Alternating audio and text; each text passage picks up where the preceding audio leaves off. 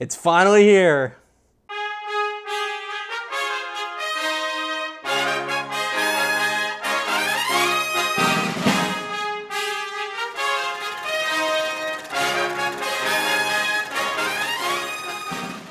Hello, everyone, and welcome back to Reel History. I am your host, History Professor Jared Frederick, and I'm very pleased to be checking out the brand new trailer, the long awaited, long anticipated, long anguishing trailer for Apple TV's forthcoming miniseries, Masters of the Air.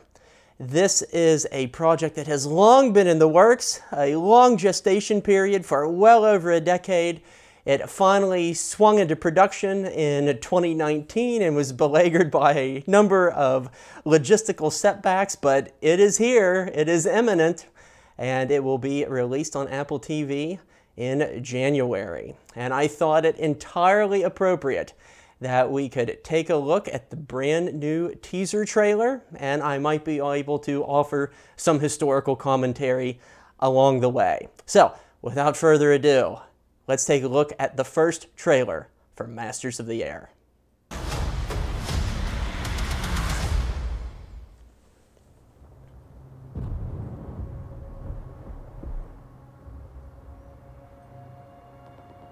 When you look at it, Very ominous beginning. attention to what's really going on. It's kind of beautiful. Ah, yes.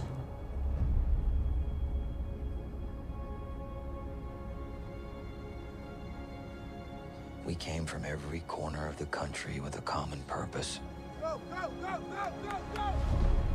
To bring the war to Hitler's doorstep. Oh, wow, look at the formations there. Oh, These daylight missions.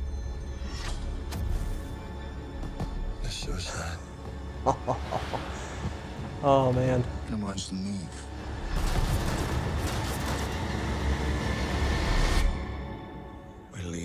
Lead our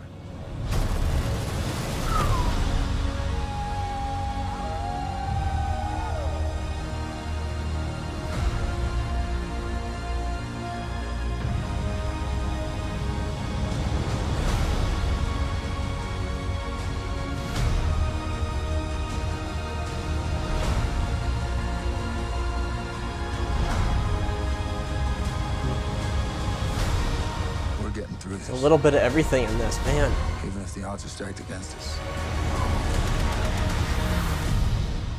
First time in the sawmill, boys. Let's rack 'em up and knock 'em down.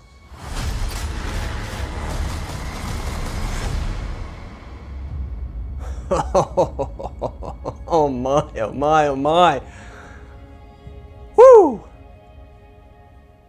Wow, that was really stellar. And there is a lot to unpack in these opening scenes.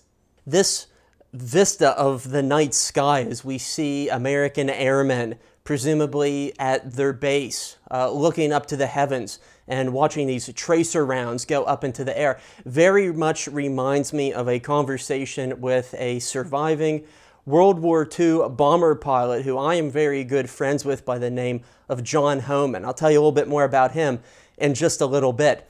But what he would say is that they would sit atop the roofs of their huts, uh, not too far away from the coast of the North Sea, and they would watch German V bombs, uh, uh, early sort of cruise missile, uh, perhaps destined for London in this case, and they would watch all of the British coastal batteries try to shoot them down at night. And maybe, just maybe, that is what we see happening here in these scenes. And he said it was uh, an unbelievable fireworks show, and he was glad he was not on the receiving end of a lot of that British coastal fire. We have an early reminder here that these are the same producers, Steven Spielberg, Tom Hanks, and Gary Goetzman, who are producing this, and this is sort of the end of the trifecta, perhaps, uh, the, the final bookend of the trilogy. And there's a certain degree of danger in all of this, cinematically speaking, because expectations are so high for this series. uh, Band of Brothers and the Pacific, although very different films, took the genre of the war film to an entirely different level. And if this one doesn't meet those same expectations, if this one doesn't reach that same caliber of filmmaking and storytelling, the fans will never forgive them. I have trust though, because it is the same screenwriter, one of the same screenwriters by the name of John Orloff, who wrote some of the best episodes in Band of Brothers. So I have a high degree of hope and optimism that he will pull through for us. It's interesting because if you watch the trailer with the subtitles, the person who is described as narrating this uh, little bit of quotation here is Harry Crosby.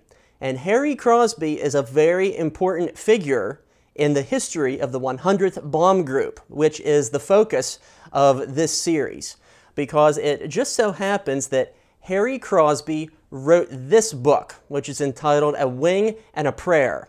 And if you want some really good reading material to prepare you for Masters of the Air, this is the one to read. In some way, Harry Crosby, who was a navigator on a B 17 and survived something like 30 missions over Nazi occupied territory, in some ways, he's the Dick Winters of the story. Now, he may not be the sort of standout, stoical, heroic figure uh, that is the main character, but what he does have in common with Dick Winters is that he kept track of the stories. He kept record of all of this, and he often did so at reunions and through his own research and writings in the years after the war. This book, I sense, is going to be at the heart of this story. So there you go, a little bit of homework for you until the series comes out. The description of taking the war to Hitler's doorstep is very accurate in this regard. And the United States Army Air Forces would often bomb enemy positions by day while our British counterparts did so by night. This was often referred to as round the clock bombing. And interestingly enough, I watched recently the Netflix series All the Light We Cannot See, and it opens up with a squadron of B 24 bombers bombing at night, which was not the norm. That would have most definitely been the exception. And in these shots, we see the feared Flak 88. This was an all-purpose weapon for the Germans during the Second World War. It had been developed in the 1930s. It could knock out the armor on a tank.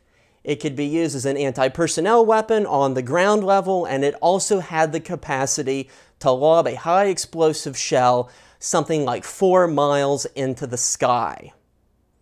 We also notice in the accompanying shots these black puffs of smoke that are erupting around the American aircraft.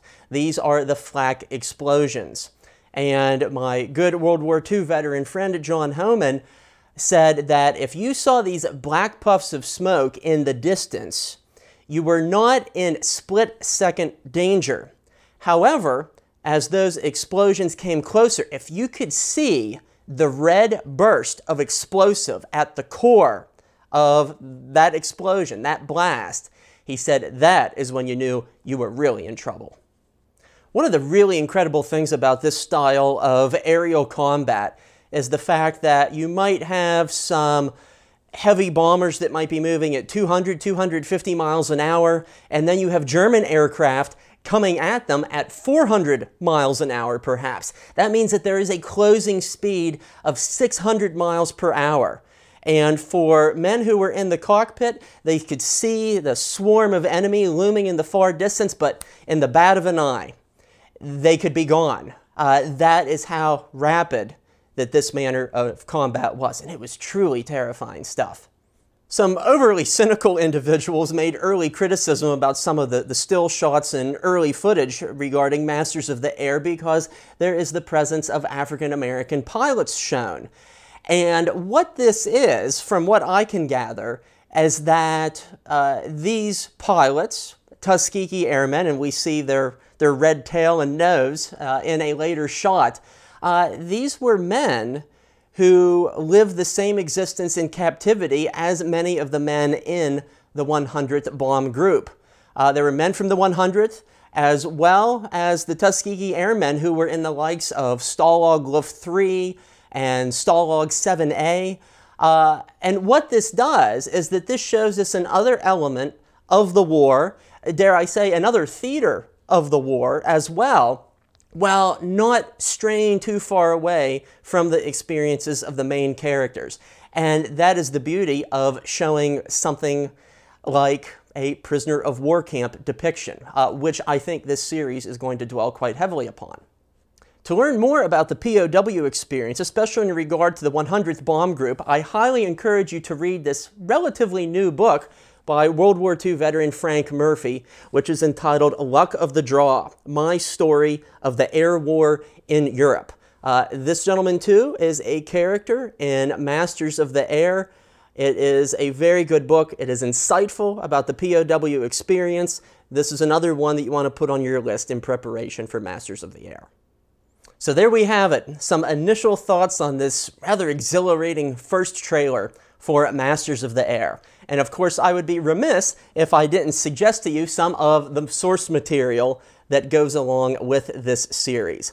Donald Miller's Masters of the Air, my copy here is autographed. Uh, that serves as some really foundational narrative for the series. However, only a small portion of the book actually focuses on the 100th Bomb Group. If you want, however, an overall comprehensive history of the 8th Air Force in the Second World War, this is definitely the one that you want to read. And last but not least, I'd like to reintroduce you to my good friend John Homan. Over the past year and a half, John and I, and John is now approaching 100 years old, teamed up to co write his memoirs. Uh, that book is now available for order, and it is entitled Into the Cold Blue My World War II Journeys with the Mighty 8th Air Force. And many of the stories that I just imparted to you were told firsthand from him to me. And I hope to explore a lot more of those experiences, the daily lives, routines, perils, hazards, and fears of men in the mighty 8th Air Force. And hopefully, we can do that by using John's very personal, heroic, sometimes humorous story as a vehicle for doing just that. So, I welcome you to follow the link below and order the book. I don't think you're going to be disappointed. That wraps up this special episode of Reel History. As always, we invite you to hit that subscribe button below. Also, feel free to visit our website and check out the many great learning and educational resources we have available on our website. If you like our channel, if you like what we do, you can also visit our t-shirt store, uh, linked below. And of course, we always welcome donations via Patreon. Any form of support is always welcome. But the first thing you want to do is hit that subscribe button, make a comment below, and to all of our new visitors, welcome aboard. Until we see you next time on Reel History, stay curious.